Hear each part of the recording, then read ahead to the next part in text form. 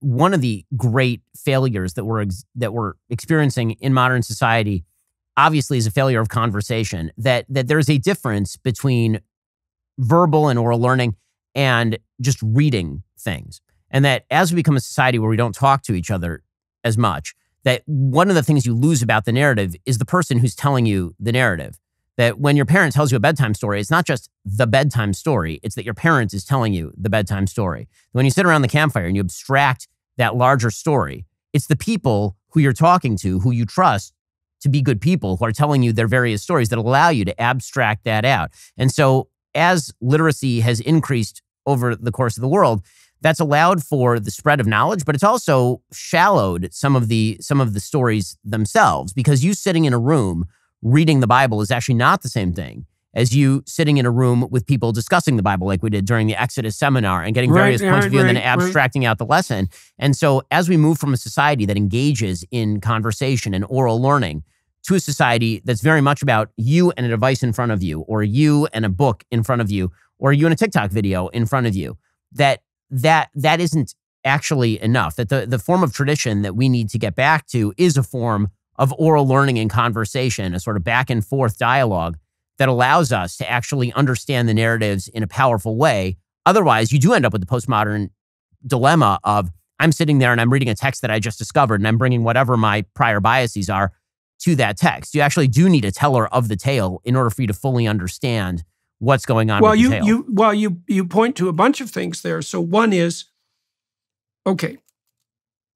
So let's blame some of this on the Protestants and their insistence that the biblical corpus per se is sufficient. Now, now one of the huge advantages of that was the promotion of literacy worldwide. So we're going to give the devil his due, but it, it does have the problem that the twofold problem that you just described. The first problem, Jung pointed to this. The first problem is that Protestant tends towards fractionation. And you can see that with the multiplicity of Protestant churches, because if it's just you and the text, there's an infinite number of yous. And I think the logical extension of this are, is the identity claims that the radical types on the hedonic left are now putting forward, right? I'm the interpreter. I'm the only interpreter, right? It's between me and God and no one else. It's like, well, that's great unless you're deluded, in which case the God that you think you're following might not be God at all. Now, then you might say, well, how might I determine whether the God that's calling to me is God or Satan, let's say. And part of your answer is you had a twofold answer. One is, well, is the story being told to you by people, actual embodied people, that you actually respect as a consequence of your knowledge of, let's say, their ethical conduct? And the other is, well, is there an active and living discussion around such issues that's conducted by a group of such people? So, you know, one of the things Pageau has helped me with a fair bit is understanding more deeply the role of ritual and congregation in the maintenance of social structure, but also in the transmission of the stories that, that need to be transmitted. As an academic type, and also as someone, let's say, as an intellectual prone to the temptations of the Luciferian intellect, it's very enticing for me to think that it can just be me in the text. But the problem with that is that you're blindest at your blindest spots, and you need that additional community to tap you out of your delusional self, de- delusional and unconscious self-serving atomistic individual individuality into something more like the universal space. And you know, talked to Harris, Sam Harris recently, and Sam and I, and I suspect you as well, share a preoccupation with the reality of evil. And part of the reason that Sam beat the drum so hard for objective standards of morality grounded in science, so an attempt to reduce the narrative to the objective, was because he wanted to put a firm foundation under claims that there was a transcendent good. And the only way he could see to do that was through the empirical route. Now, you know, I've been looking at Robert Axelrod's work on the emergence of cooperation in iterated systems. And and I think so I think there actually is a place where the approach that Sam favors can be integrated with the sort of things that you and I and the Exodus participants, for example, have been discussing. So imagine that there's a landscape of repeated interactions. Let's say they're voluntary trades of information, of emotion, of goods. The voluntary part's important. And that across those trades, there's a pattern. Now, Axelrod showed in his computational sim- simulations that if you and I were trading under certain conditions, the best strategy, the winning strategy in a competition of strategies would be for you and I to cooperate. But if you cheated for me to whack you with proportionate force and then to go back to cooperation, that so that's tit for tat. Now imagine that our lives are characterized by a sequence of repeated trades in multiple dimensions with multiple players in a game of indeterminate length, and that there's a pattern of interaction that is optimal across that plethora of interactions. I think that the highest order narrative that grips us, so we'd find that compelling, that would be told by the people we admire, and that's in concordance with the biblical narrative, is a map of the strategy that works best in repeated interactions with multiple people across the broadest possible span of time. So that's a place where the empirical and the theological could reach perfect concordance. And well, I I think the evidence points in that direction. Yeah, I, t- I totally agree with with all of that, and and I also think that when when you talk about you know the fact that the, these narratives have to be told to you by people that you trust, that people who you consider to be virtuous, and all, all the rest of this, I think that even people who don't advocate for that understand it innately, which is why attacks on the church, for example, are never attacks on the Bible. Those are not effective attacks, right? The, the sort of attacks that you see from Richard Dawkins, for example, about the text of the Bible, that never has any impact on people who are truly religious because truly religious people exist within the context of religious communities. The most damaging thing to any institution is an attack on the people who comprise the institution and make the rules as non virtuous and violative of the fundamental principles of that institution. This is why the attacks that have been most damaging to the Catholic Church have nothing to do with Catholic doctrine and everything to do with the activities inside the Catholic Church surrounding, for example, cover ups of child molestation. It's why attacks on any institution are going to be the most telling based on taking people who you previously thought were virtuous advocates for the system and bringing them low and, and tearing them down. And I, I think that one of the things that, that we've seen wholesale. Well, that's also, that's also, okay, so that's also why. So in the gospel texts, Christ's fundamental enemies in the earthly world, so to speak, so excluding transcendent evil, are the Pharisees, the scribes, and the lawyers. So I've been going through those stories in depth. And so the Pharisees are moral hypocrites. They're the people. See, this is another way that we can sort these disputes out with people like Dawkins and Harris, because what they do is they identify the religious enterprise with the totalitarian proclivity.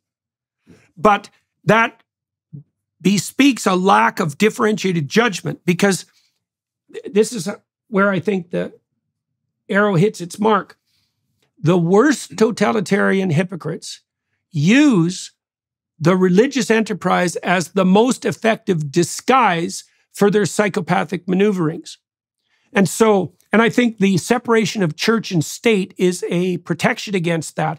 So, like, and we know this clinically to some degree, eh? because if I'm a narcissist, a psychopathic narcissist, I'm going to claim victim status and milk the compassionate for all they're worth, being relatively callous myself and unfeeling in the in the uh, presence of other people's pain, perfectly willing to manipulate that.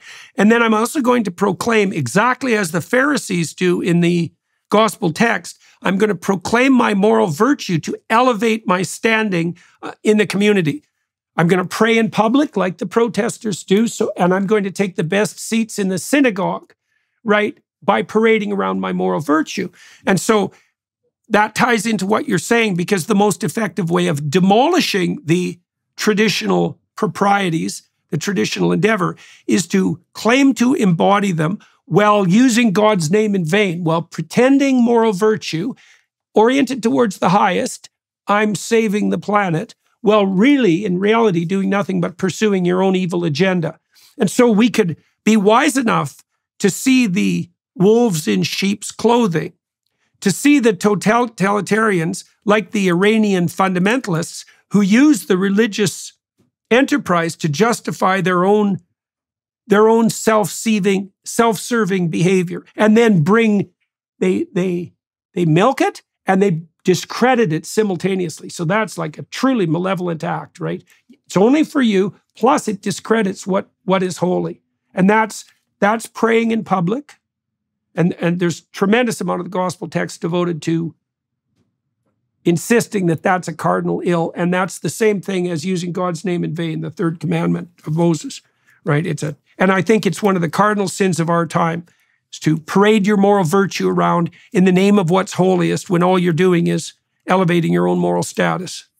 I mean i certainly think that that's the case. And i also think that we have to be careful on the other side not to fall into the easy use of the charge of hypocrisy to destroy the principle. Because you can see that exact same attack being wildly misused right? you can see some everyone is sinful. And so the idea is that if i can discredit an idea by attacking the advocates of the idea as sinful well then you can basically destroy any ideology that way. It's why religious people for example very often say oh we're held to a higher standard. Well i mean to be fair you should be held to a higher standard. You do proclaim to be religious but it's also very easy to destroy entire swaths of ideology based on this and using using human beings' inherent fallenness and inherent sinfulness in order to discredit. You know, and you see this literally with every ideology, right? Capitalism is bad because Bernie Madoff exists. Okay, okay. So, so I got a good story about that for you. So, you remember in the story of Noah. So Noah shepherds his family and the human race, for that matter, through the return of the pre cosmogonic chaos, right? The waters come back, God floods everything, returning it to the state that preceded creation and brings up a new civilization. And Noah's to thank for that. Now, he goes out after he lands because it's been a harrowing trip. Let's say plants a vineyard and proceeds to get rip roaring drunk. And so that's a human failing. And Noah's only characterized in that text as wise in his generations, right? He's not a saint, he's not the savior, He's a, good man, but a man, so he has faults. Now, here's what happens. This is so cool. So he drinks like three gallons of wine and and passes out, and he's stark naked. I think his like robes are lifted up over his body, and he's laying there in his tent, exposed and naked. And his son Ham comes along, and has a pretty good laugh about how stupid his father is, which is a pretty damn ungrateful thing to do, and foolish because Ham would be, it would be of great, it'd be a great accomplishment of Ham to be half the man that his father was. So, anyways, he laughs at Noah. And then he gets his brothers and he says, you know, hey, the old man's, you know, drunk out of his mind. Why don't we go? And, and he's all sprawled out. Let's go over there and we can all join in a good laugh. And his other sons, Noah's other sons, take a blanket and they back into the tent and they cover Noah. Okay. And so they show him respect despite his flaws. Now, the way that story ends is that in tradition is that slaves are the descendants of Ham. And so the moral of the story is that if you're foolish enough to dispense with your wise traditions, because you can point to flaws that inherit to men better than you, far better than you, let's say Thomas Jefferson, for example, that you are walking a pathway that will, will turn you and your descendants into the slaves of people who have proper respect for tradition. And that seems to me to be, well, like that's spot on. That's dead on. It it nails the pride, eh? Because Canada is unbelievably appalling in this regard. Our politicians will apologize even for imagined historical wrongs, even if they show no sign whatsoever of being anywhere near as wise as the people who hypothetically committed those wrongs, just so they can parade their moral virtue in comparison to the great men of the past. And one of the things, too, that is worth thinking about in that regard is there's almost nothing more cowardly than attacking the dead. Because even more than the unborn, they can't defend themselves. Right. So, so well, and it's very difficult to read into that attempt to demoralize and devalue the past.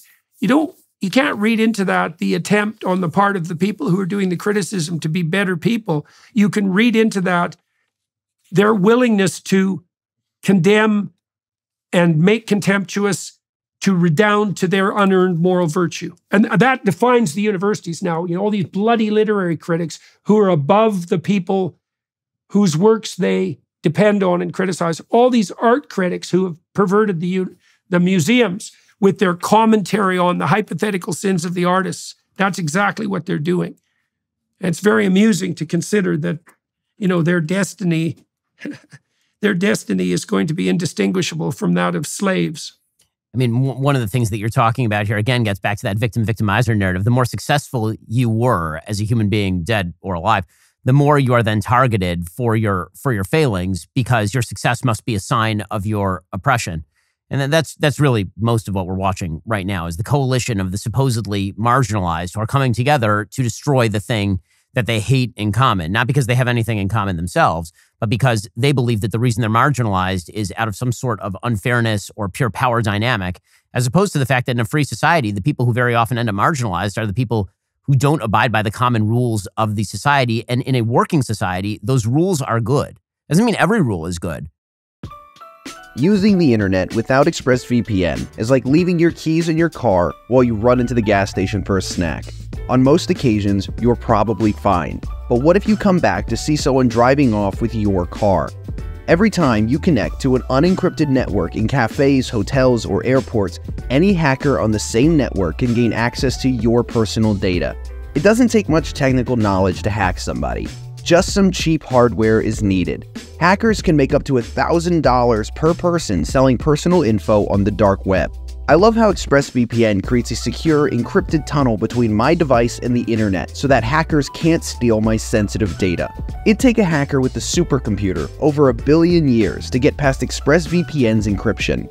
All you need to do is fire up the app and click one button to get protected. Plus, it works on all devices such as phones, laptops, tablets, and more so you can stay secure on the go. Secure your online data today by visiting expressvpn.com slash jordanyt. That's E-X-P-R-E-S-S-V-P-N dot com slash Jordan Y-T. And you can get an extra three months free. Look, look, Ben, it's also the case that this, the intersectionalists basically make this claim, even though they don't notice. Like, we could each find dimensions along which we were marginalized, and maybe still are for that matter. I mean, within every human being, there are going to be dimensions of lesser attainment and greater attainment. And so there's some dimension along which we are comparative victims, right? And I mean, it's certainly the case as well, and the intersectionalists have this right to some degree, is you do run across people from time to time who appear to have very little going for them across very many dimensions, right? And, and their lives are genuinely difficult and hard. Now, I've met many people like that in my clinical practice. And I've also observed, and this is another error in the determinism that's characteristic of the victim victimizer narrative and the Marxist and materialist approach to the world, you would expect that people who were marginalized on many dimensions simultaneously might harbor a certain amount of bitterness and resentment as a consequence of that, and a certain amount of justified hatred for the status quo. But my experience as a clinician has been that people who have been bitterly tormented are, they may be more likely to collapse altogether, but they also seem to be me to be more likely to have the opportunity to derive an absolutely stellar character out of their misadventures, right? To conclude from everything that they have been subject to that taking on a role of the bully themselves, for example, if they were from an abused, an abusing family, is the wrong conclusion to derive from that example. And we know that this is true even mathematically because if all abusers abused, it would take no time for every family to be characterized by abuse. So, what you see in the clinical literature is that people marginalized by abuse, let's say genuine abuse, if you look at an abuser, someone who abuses their kids, they're statistically much more likely to have been abused as kids. But if you take the population of everyone abused by abused in childhood, only a small proportion of them become abusers.